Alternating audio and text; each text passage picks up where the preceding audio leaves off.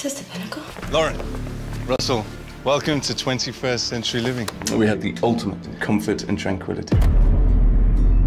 All suites have access to our 24-hour surveillance of all key venues. The pinnacle is owned by a man named Henning Dahlquist. I'll have a guy now check into this, see what I can dig up.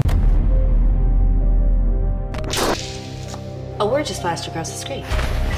What word? Lauren, Russell thinks you should be hospitalized again. What? If we don't get results within four to six weeks, I like to try upping the dosage. I'm not one of them. Excuse me?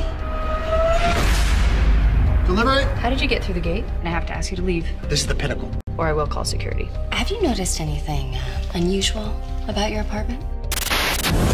What is your interest in all this? I met someone recently who was talking about it. Someone is using this building as um, subliminal advertising experiment? What are you experiencing? Coercive flash images. You're just gonna take. This is not in my head. There's a part of you that can't be touched. You gotta listen to that part of yourself. You're not paranoid. Who do you trust?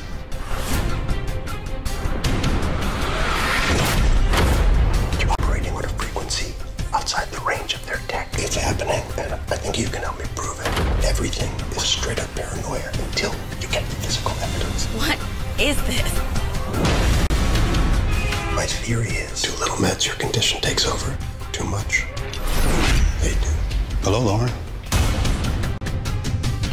You should get out, Lauren. What? Run.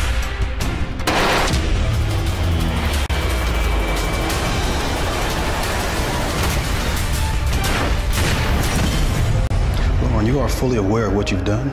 I've done exactly what was asked of me.